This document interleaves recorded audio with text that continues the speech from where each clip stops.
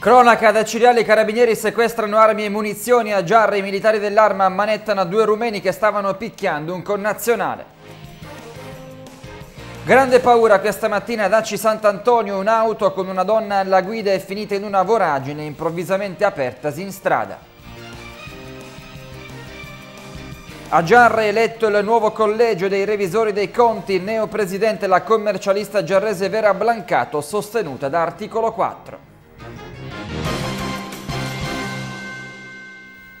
Bentrovati dalla redazione di Reporter, questi i titoli in eh, primo piano. Tra gli altri argomenti spazio ancora al maltempo e ai danni che ha causato nella zona della Cese e non solo. Ad Acicatena ad esempio prosegue la conta dei danni e crollata pure parte dell'oratorio San Giacomo. Ancora piogge torrenziali però la notte scorsa su Cireale con svariati interventi compiuti dai vigili del fuoco. Stamattina invece giornata dedicata ai sopralluoghi nei vari istituti eh, scolastici. E infine riflettori puntati ancora una volta sulla SS 114. Il consigliere comunale accese Giuseppe Ferlito a eh, puntare l'attenzione sulla necessità di una barriera spartitraffico lungo la eh, statale nel tratto che da Ciriale porta alla frazione di Santa Maria Ammalati. Ma come sentito dai titoli partiamo con la cronaca con le diverse operazioni dei eh, carabinieri che ad Aciriale hanno sequestrato armi e munizioni a casa di un insospettabile. A Giarra invece hanno ammanettato due cittadini rumeni che con una mazza stavano picchiando un connazionale. Vediamo armi, munizioni, polvere da sparo, piante semi di cannabis e marijuana sono stati sequestrati dai carabinieri ad Acireale nell'abitazione di un uomo di 55 anni che è stato arrestato per coltivazione e detenzione illecita di sostanze stupefacenti, detenzione di armi clandestine e munizionamento da caccia, polvere da sparo e munizionamento da guerra.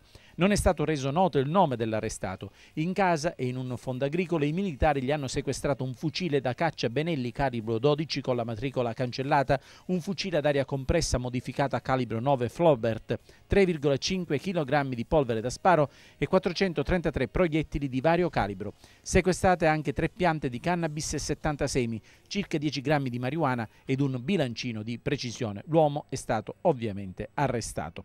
In piazza del Carmine a Giarre, invece, la scorsa notte un cittadino romeno è stato letteralmente preso a bastonate da due connazionali. Solo l'arrivo dei carabinieri della locale stazione e del nucleo radiomobile della compagnia di Giarre hanno scongiurato il peggio. A finire in manette per minacce, lesioni personali aggravate, porto di armi ed oggetti atti ad offendere e violazione di omicidio sono stati il 25enne Fediuk Giulia Vlad ed un coetaneo, entrambi appunto romeni, che per ragioni ancora da chiarire hanno aggredito colpi di bastonate un connazionale di 32 anni. La vittima, trasportata all'ospedale di Acireale con l'ambulanza, è stata medicata e riscontrata affetta da frattura al setto nasale e ferito lacero contuse con prognosi di 30 giorni. Il bastone di legno lungo 72 cm è stato sequestrato. Un 39enne di Bitonto è stato invece arrestato dai carabinieri a Trecastagni per stalking nei confronti dell'ex convivente per avere violato un provvedimento del Tribunale per i minori che lo autorizzava ad incontrare la figlia di 4 anni soltanto in presenza degli assistenti sociali. L'uomo in passato era stato denunciato per molestie e minacce nei confronti della donna. Per anni l'ex convivente, arrivato nei giorni scorsi dalla Puglia in Sicilia, ha cominciato a pedinare la donna e la bambina nel paese in cui vivono. I carabinieri lo hanno arrestato contestandogli di non aver ottemperato ai divieti imposti dal giudice giudice. Infine i carabinieri del nucleo radiomobile della compagnia di Giare hanno arrestato Simone Vaccarella, 24 anni, denunciato in stato di libertà la moglie di 19 anni e un 28enne per detenzione di sostanze stupefacenti. Nell'auto sulla quale viaggiavano è stata sequestrata una busta di plastica contenente circa mezzo chilo di marijuana. Momenti di grande paura questa mattina ad Aci Sant'Antonio in via Giacomo Leopardi dove si è improvvisamente aperta una voragine in strada mentre passava una donna con la sua auto che vi è finita dentro, per fortuna senza gravi conseguenze. Vediamo. Sfiorata la tragedia questa mattina ad Aci Sant'Antonio in un complesso condominiale sito in via Giacomo Leopardi. Nella rampa utilizzata per l'ingresso e l'uscita delle auto si è infatti aperta una voragine profonda alcuni metri che ha letteralmente inghiottito una Suzuki condotta da una donna che poco prima delle sette si stava recando al lavoro. Il boato sorto dello smottamento ha svegliato i residenti della zona ed è subito scattata la macchina dei soccorsi che ha visto il tempestivo intervento dei vigili del fuoco, con la donna che, al di là del comprensibile shock per quanto accaduto, non ha riportato particolari conseguenze, come hanno avuto modo di accertare i medici del pronto soccorso dove la donna è stata sottoposta precauzionalmente ad una serie di accertamenti. Sul posto si è subito recato il sindaco di Aci Sant'Antonio Santo Caruso che ha coordinato gli interventi più immediati per fronteggiare l'emergenza. In momenti di paura, meno male che non ci sono stati dei feriti, quindi tutto sommato è successo e grazie a Dio siamo qua a vedere solamente i danni. Siamo intervenuti assieme ovviamente al corpo dei vigili urbani, a protezione civile, io personalmente sono stato tutta la mattinata qua a cercare di capire e soprattutto sostenere diciamo, i cittadini, la popolazione della zona. Sono eventi particolari che, sono, che scaturiscono solamente, sicuramente da questo cambiamento della, diciamo, della climatico che porta a questa abbondanza di acque e queste situazioni che, che saranno purtroppo sono nuove ma eh, possibilmente saranno anche frequenti perché dobbiamo capire l'acqua come si, si articola e dove va a finire. Quindi Oggi abbiamo fatto solamente un intervento di messa in sicurezza, ovviamente essendo una, un privato, una zona privata, saranno i privati stessi ad organizzarsi per far sì che tutto venga messo in sicurezza e venga ripristinato. Abbiamo anche chiamato eh, l'azienda del gas perché ci sono anche delle perdite di gas e quindi tutto viene messo in sicurezza e spero che tutto venga ripristinato in breve tempo. Conseguenze insomma del maltempo degli ultimi giorni, in particolare di ieri, anche ad Acicatena ad esempio si contano i danni ed è crollato pure parte dell'oratorio San Giacomo, vediamo. Il maltempo continua a sferzare il territorio comunale catenoto che paga anche la posizione geografica, cioè sottostante la Timpa, che sorregge gli altri comuni della Cese, da Valverde ad Aci Sant'Antonio. Le copiose acque cadute dal cielo e poi riversatesi nelle strade che si tramutano in fiumi hanno la scorsa notte invaso largo Madonna del Sorriso da San Filippo e la solita via Aldo Moro nel cuore di Acicatena acqua alta e detriti che hanno provocato alcuni danni limitati però rispetto a ieri. Nella zona di San Giacomo e più precisamente via Santa Maria del Sangue però si segnala la frana di una porzione dell'oratorio parrocchiale. In via Pescheria tra Santa Venera al Pozzo Reitano una famiglia è rimasta bloccata in casa per il deposito di grossi massi sulla sede stradale che, in buona parte, ricalca il greto del torrente da cui assume il nome. Sul posto si è recata la protezione civile comunale nel tentativo di liberare la sede stradale da detriti e massi, essendo aperto il passaggio pedonale meridionale, però insicuro per la probabilità di precipitazioni che rimane comunque alta. Intanto a Palazzo di Città si lavora sulla direttiva del sindaco Ascenzio Maesano, cioè quella che ipotizza il ristoro economico dei danni subiti alle strutture di Via Aldo Moro, dove la notte tra mercoledì e giovedì l'acqua invase scantinati e garage, abbattendo anche muretti perimetrali. In Via Aldo Moro si spera che a breve possano essere avviati i lavori di rifacimento della conduttura idrica, un progetto da un milione di euro già approvato e del quale si attende solo il via libera libera dalla Cassa Depositi e Prestiti per la devoluzione dei vecchi mutui già contratti dal Comune e parzialmente risparmiati. Conta dei danni anche ad Acireale dove stamattina le scuole erano chiuse allora si è proceduto con dei sopralluoghi di verifica per verificare appunto le condizioni degli immobili che ospitano gli istituti scolastici. Vediamo. Situazione oggi decisamente migliorata rispetto a ieri ad Cireale, anche se fino alla notte scorsa non sono mancate ancora le piogge torrenziali, condite da tuoni e fulmini. I principali problemi si sono avuti così nella zona di Santa Maria Ammalati, lungo la via provinciale, allagata dalle acque piovane, tanto da rendere necessario l'intervento dei vigili del fuoco per fronteggiare la situazione e agevolare il transito degli automobilisti. Inoltre in un condominio è venuta giù una palma che ha danneggiato una vettura.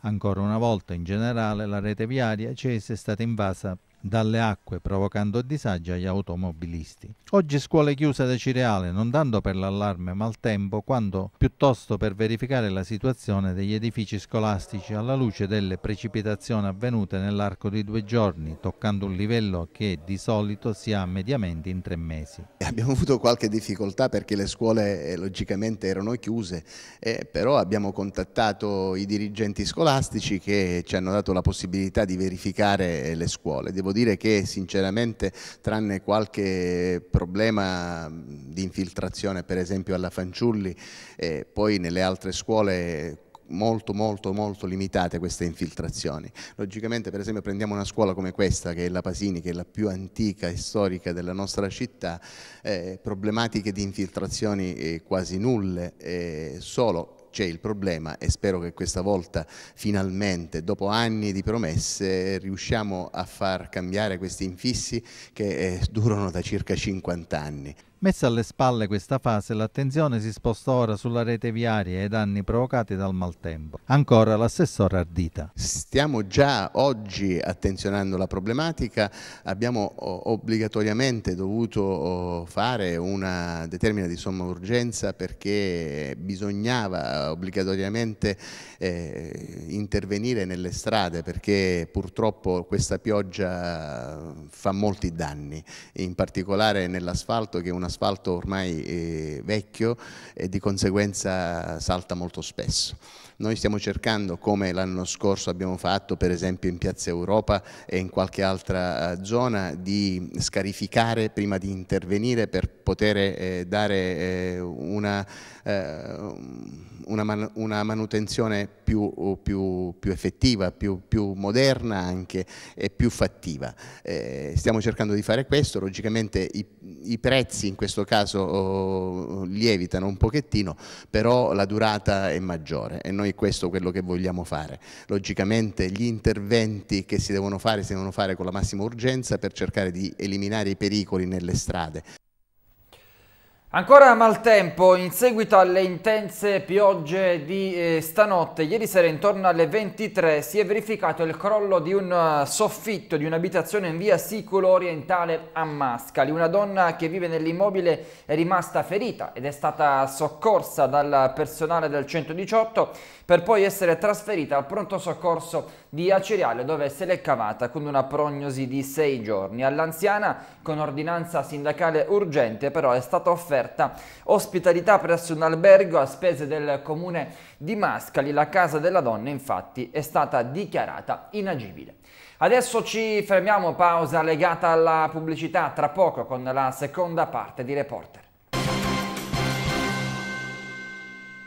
Ottica Grasso le novità sulle collezioni Vista Sole dai brand più di tendenza. Centro ottico Zeiss per il massimo comfort dei vostri occhi.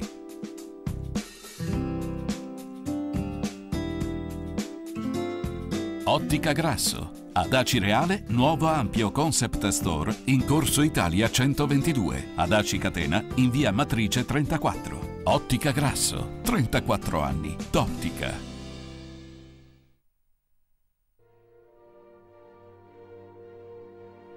Il Teatro Stabile di Acireale presenta la ventiduesima stagione teatrale nazionale 2015-2016 con Vincenzo Salemme, Massimo D'Apporto e Tullio Solenghi, Massimo Ghini e Galatea Ranzi, Iva Zanicchi, Barbara Boucher e Corinne Clery, Tuccio Musumeci, Pippo Pattavina, Pippo Franco, Guia Ielo e tanti altri.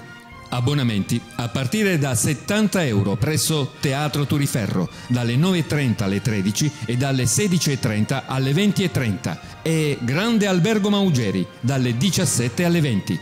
Infoline 095 98 92 093. Teatro Stabile di Acireale. Da oltre 20 anni il teatro della tua città. Oragel, un tesoro di freschezza direttamente dal mare sulla vostra tavola. Il pescato di Oragel non attraversa una filiera esterna. Arriva con le barche alle prime ore del mattino nel mercato all'ingrosso di Aci Trezza, da dove in poche ore raggiunge Oragel per essere lavorato e proposto in pescheria. Oragel, la pescheria al dettaglio con i prezzi all'ingrosso, dove oltre al pesce fresco offre dei surgelati e ottimi preparati. Lavoriamo direttamente lo stocco e il baccalà, preparandolo con cura attraverso antichi metodi, per garantire la massima qualità. Oragel, freschezza e convenienza, al servizio della clientela. Ad Acireale in via De Amicis, angolo via Alessandro Volta. Oragel, l'oro del mare.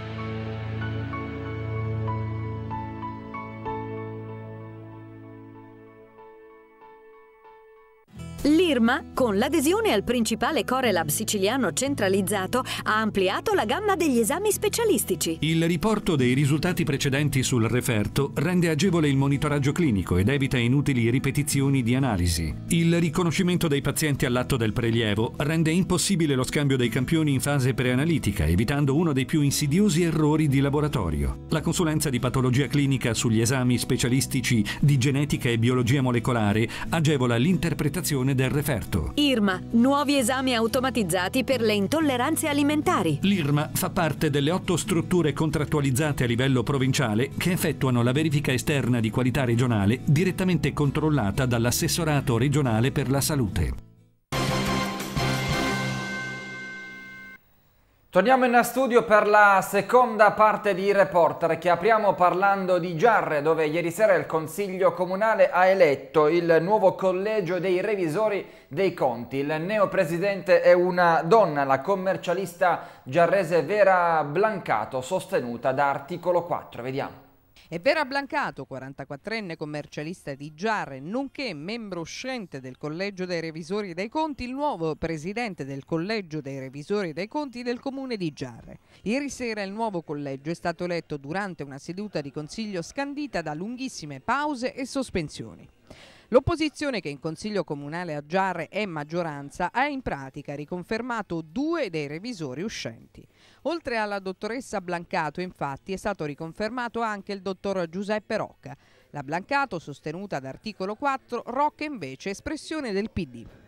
I consiglieri che sostengono il sindaco e che in consiglio sono in minoranza hanno invece eletto il dottor Giuseppe Sapienza, ragioniere capo a Santa Venerina e ad Aci Sant'Antonio. Al termine della votazione, poi il consigliere Tania Spitaleri del PD ha sottolineato come l'elezione dei revisori sia stata frutto di un'intesa tra il PD e il gruppo Articolo 4 e che un'opposizione forte vuole essere un importante pungolo all'amministrazione. Le ha fatto eco il capogruppo di Articolo 4 Raffaele Musmeci, più pungente invece il consigliere Orazio Scuderi di Proposta Popolare che ha sottolineato come il dottor Sapienza, espressione dei consiglieri riconducibile all'amministrazione, sia stato votato solo da sei consiglieri, quando invece il totale dei consiglieri che sostengono il sindaco è di otto.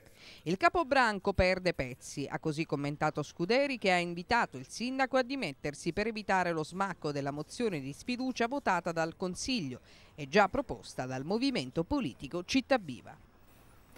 Restiamo a Giarre dove il Movimento 5 Stelle riaccende i riflettori sui eh, prezzi troppo cari delle locali strisce eh, blu eh, tra i più alti in Sicilia. Proprio in questi giorni infatti la deputata 5 Stelle Angela Foti ha inviato una lettera per sollecitare ancora una volta il sindaco Bonaccorsi ad inviare gli atti richiesti. Nonostante siano passati sei mesi dalla richiesta, il sindaco infatti non ha ancora provveduto ad inviarli e la legge impone un tempo massimo di 30 giorni, specifica il Movimento 5 Stelle. Nei mesi scorsi, afferma la Foti, abbiamo avanzato diverse richieste di accesso accesso agli atti in modo da valutare la vicenda e verificare l'andamento economico dei profitti. Lo stesso contratto, ha aggiunto poi la deputata, vincola le parti ad una verifica congiunta ogni tre anni finalizzata alla verifica economico-finanziaria della concessione, ma di queste verifiche nemmeno l'ombra.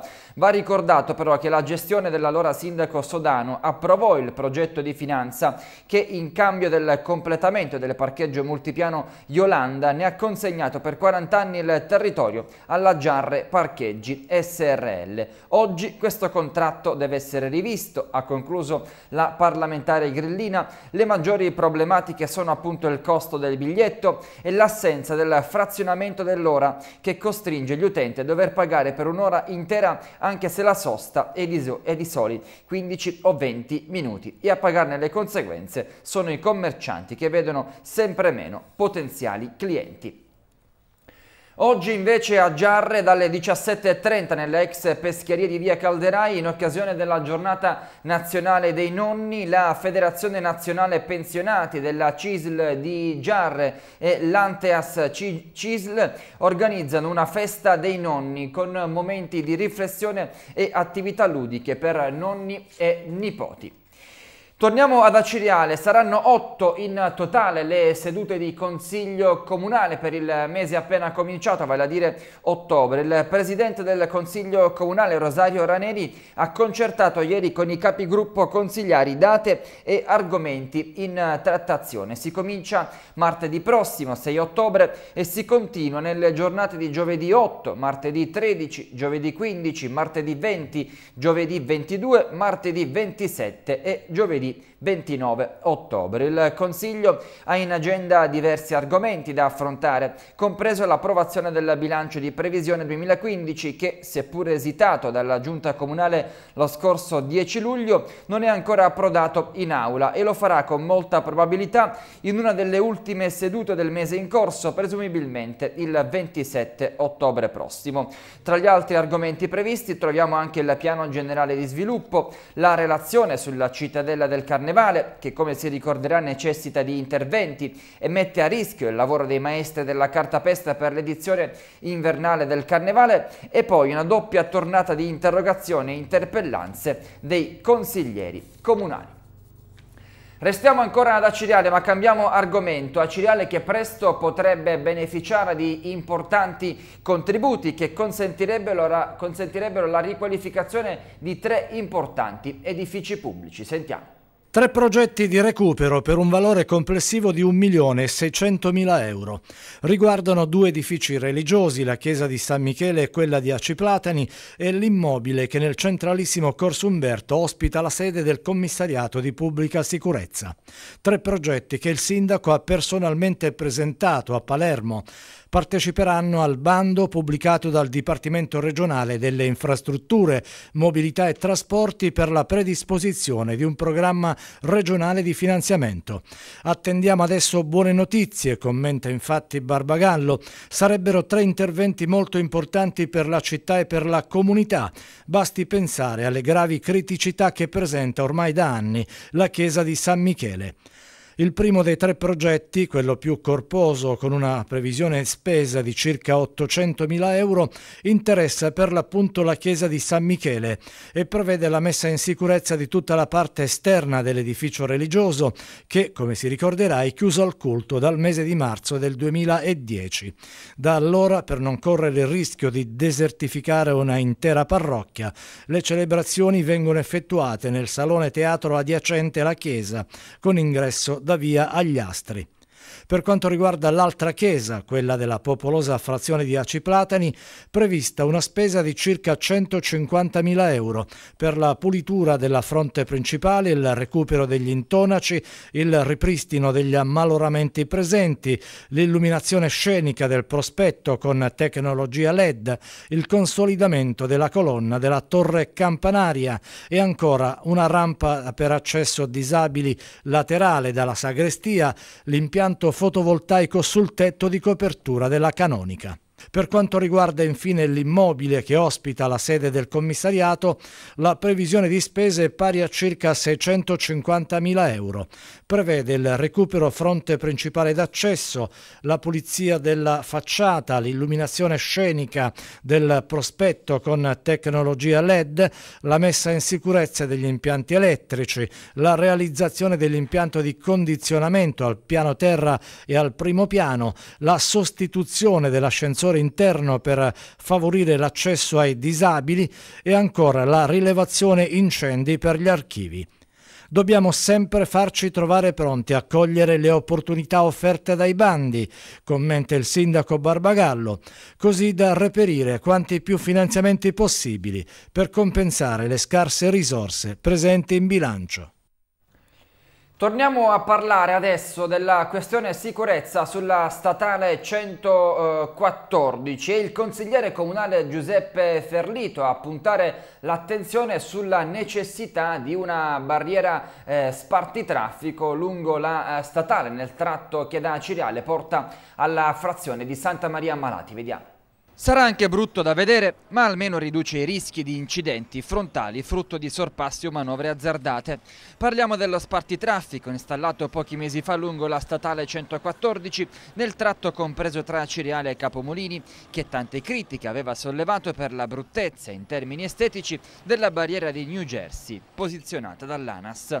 Ma la sicurezza prima di tutto, e questo è il concetto da tenere sempre bene in mente e che riprende anche il consigliere comunale Giuseppe Ferlito, concentrandosi su un altro tratto della stessa strada statale, quello che da Cireale porta verso Santa Maria Ammalati e Guardia. Una strada a scorrimento veloce, teatro in passato anche di incidenti mortali e che necessiterebbe di interventi atti ad elevare il livello di sicurezza per automobilisti e centauri, quale l'installazione di una barriera spartitraffico, appunto. Un argomento questo già sollevato in Consiglio Comunale dallo stesso Ferlito, che aveva sollecitato l'ex assessore alla viabilità Rori Pietropaolo a contattare i vertici dell'ANAS affinché valutassero l'installazione di una barriera spartitraffico di fatto sarebbe una soluzione che alleverebbe o toglierebbe del tutto il problema e quindi sarebbe soprattutto per una questione di sicurezza per i cittadini una soluzione gratitissima. Qualche mese addietro, circa un mese e mezzo fa, è stata posta nella fase delle interrogazioni, è stato posto il problema e l'assessore ha eh, inviato una lettera all'ANAS, ma sarebbe opportuno eh, sollecitarla, sarebbe opportuno eh, fare un po' di pressione eh, all'ente per avere delle risposte eh, celeri. Dall'ANAS, che ha competenza sull'arteria, ancora nessuna risposta, ma la proposta rilanciata dal consigliere Ferlito potrebbe trovare concretezza rientrando all'interno del progetto della stessa ANAS di realizzare nei prossimi mesi, all'altezza del bivio per Santa Maria Ammalati, una rotatoria simile a quella realizzata pochi mesi fa al bivio Samperi. Se la linea progettuale rimanesse quella, infatti, la barriera spartitraffico sulla SS 114 potrebbe decisamente allungarsi. A Ciriale che intanto fino a domenica si è trasformata in una sorta di laboratorio artistico a cielo aperto, è, la, è infatti la capitale del Ring of the European Cities of Ironworks. E sul tema abbiamo anche sentito l'assessore all'artigianato Alessandro Oliva, vediamo. Acireale per quattro giorni sarà la capitale del ferro battuto e dell'artigianato. Ha preso il via ieri la manifestazione L'Anello del Ferro. Riscoprire le tradizioni locali, gli antichi mestieri e confrontarsi con gli artigiani provenienti da altri paesi e che hanno un patrimonio culturale differente ma che può arricchire l'arte acese. Ieri in Piazza Duomo il saluto del sindaco di Acireale Roberto Barbagallo alle 16 delegazioni provenienti da tutta Europa. L'inaugurazione è stato un momento di festa e di partecipazione che ha dimostrato giusta la scelta di indicare Cireale come sede del meeting europeo di quest'anno. Dopo l'accoglienza iniziale, le delegazioni di Germania, Finlandia, Repubblica Ceca, Paesi Bassi e Spagna, Austria, Ucraina e Russia hanno partecipato ad un tour speciale tra le bellezze del barocco del centro storico guidato dagli alunni del liceo classico Gulli e Pennisi, i quali hanno accompagnato gli ospiti all'interno della Basilica Cattedrale cattedrale dell'Annunziata, dei Santissimi Pietro e Paolo e della collegiata di San Sebastiano. Un momento importante anche per il turismo, oltre che culturale ed artistica, per far conoscere il patrimonio storico, paesaggistico ed architettonico della città e per coinvolgere gli studenti del territorio che con impegno ed interesse hanno partecipato alla riuscita dell'evento. 16 delegazioni hanno una certa valenza, una certa importanza ci pongono al centro dell'Europa in questo momento. Eh, sì, per un'arte antica, eh, per un'arte importante e turisticamente parlando ci spingiamo oltre perché questa è una programmazione. L'anno scorso il sindaco ha portato l'ottimo risultato di avere per quest'anno la manifestazione qui ad Cirale con tutte le conseguenze che ne derivano e preannuncio che il sindaco ha fatto la proposta per l'anno a venire di far parte del consiglio vero e proprio, perché c'è un organo direttivo dell'anello cosiddetto del ferro eh, a livello europeo che è composto dal presidente, dal vicepresidente, dal segretario, dal tesoriere e da alcuni consiglieri. Quindi il comune di Cireale entrerà a far parte dell'amministrazione vera dell'anello del ferro. Rinviata a domani invece, causa allerta meteo, l'inaugurazione ufficiale alla Villa Belvedere. Domani infatti gli alunni dell'Istituto Comprensivo Vico Fuccio Spina parteciperanno all'inaugurazione con balli e musica internazionali basati sui temi della fratellanza e la pace tra i popoli. In questi giorni i locali dell'ex angolo di Paradiso si trasformeranno in un laboratorio artistico di spessore internazionale dove potranno essere visitate le opere dei maestri artigiani. Ad Aci Sant'Antonio, viste le condizioni meteo di questi giorni, la finalissima di musica libera che porterà a confrontarsi sei artisti si terrà domani, sabato 3 ottobre, al chiuso presso l'oratorio Monsignor Pulvirenti in via Madonna delle Grazie 67, proprio ad Aci Sant'Antonio. Ospite della serata sarà Rita Botto. Siamo in eh, chiusura e a proposito di domani andiamo a scoprire le previsioni meteo.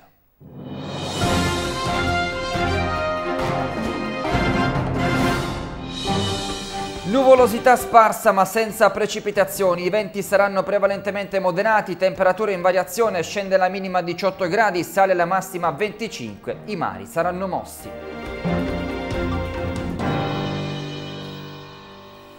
E per oggi è tutto, grazie per averci seguito, vi ricordo la nostra pagina Facebook ufficiale, Tenespresso Channel trattino TG Reporter per le vostre segnalazioni, ma anche per darvi la possibilità di rivedere in qualsiasi momento tutte le edizioni in archivio del nostro TG, TG Reporter che torna domani, puntuale alle 13.40, arrivederci.